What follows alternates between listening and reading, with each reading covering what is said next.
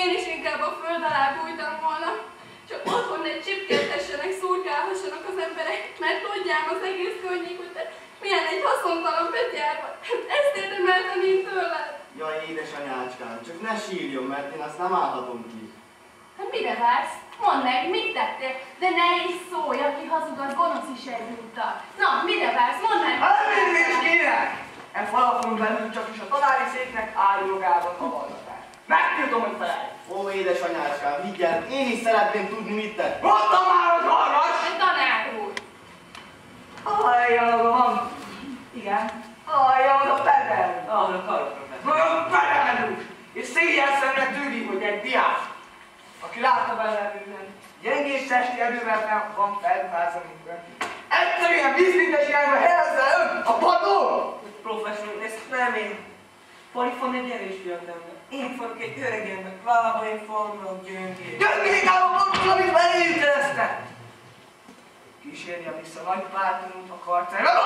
Értem, értem, fog most vissza. Jaj, Viggo bácsi, megyek én magamtól is, csak az édesanyámat akartam látni, mert én másképp nem láthattam. Jöjjön, Viggo bácsi, azt én támogatom, az ő lábaim nem vannak gyöngék.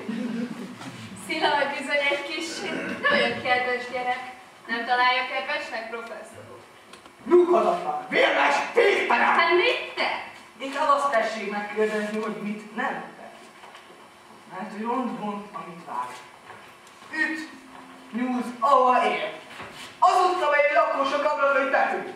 A kereskedők firmatábláit lecselet leszedik, és kicserélik. A csizmodi a téged kiakasztja a szűrszabonát, és mit te ragzá? Este drótot húz az utcán. Hogy csak úgy potyognak a járókedők, mint a lakkörtek. Az Istenért, hát ezért gyerek. A felnőtt majd nem lesz ilyen. Igen, igen, ezért még nem bűnös a tanácsszék. De főbejáró dolog az, hogy bátyámnak, aki a természetlen professzora, Párnajder tönkretette a tudományos reputációját. Tessék bele gondolni, el pukor belőletbe. Honvágyú kitette az almárium tetejére így megszárad, és a penészbe nem lehetett. Ekkor azzal a hegy kijelentéssel, hogy a Szitnya hegyén találta, odaadta tudós bátyának, aki kapva kapott rajta, hisz egész életében ős gomba küldletekre lesz.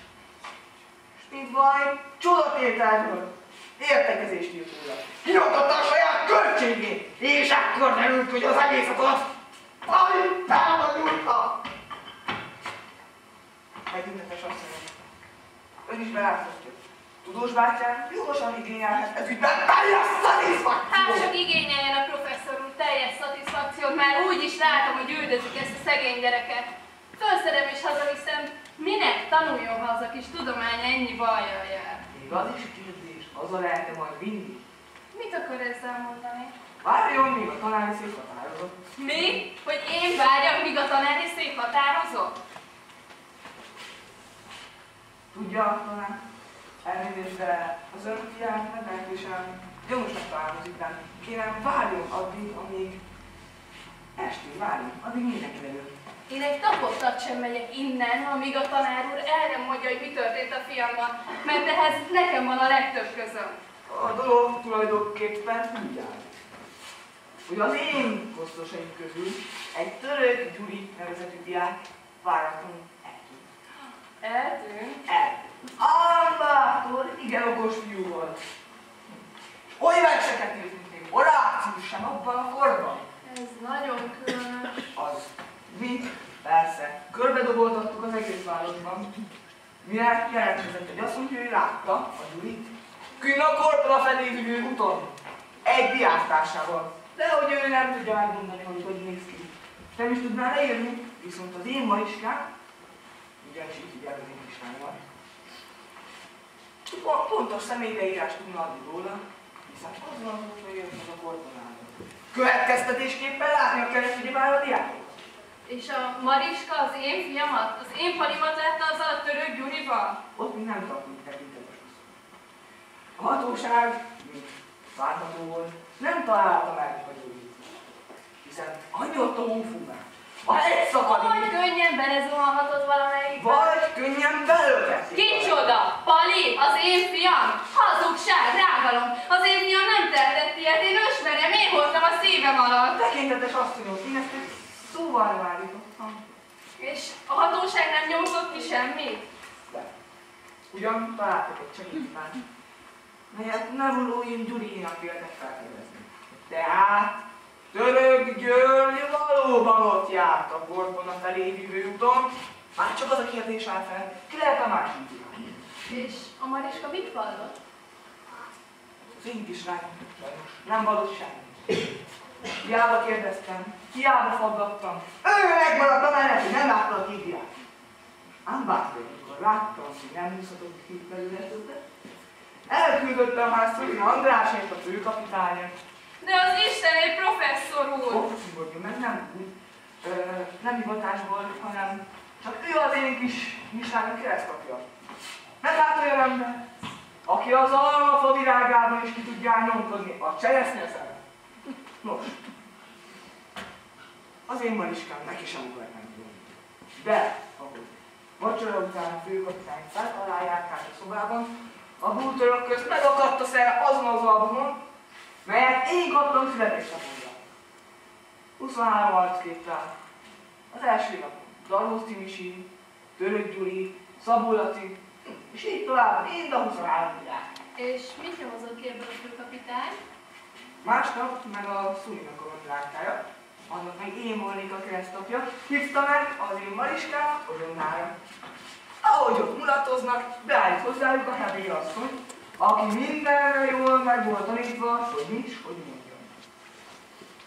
A főkapitány a lányok előtt vallotta, hogy hozzáteszi.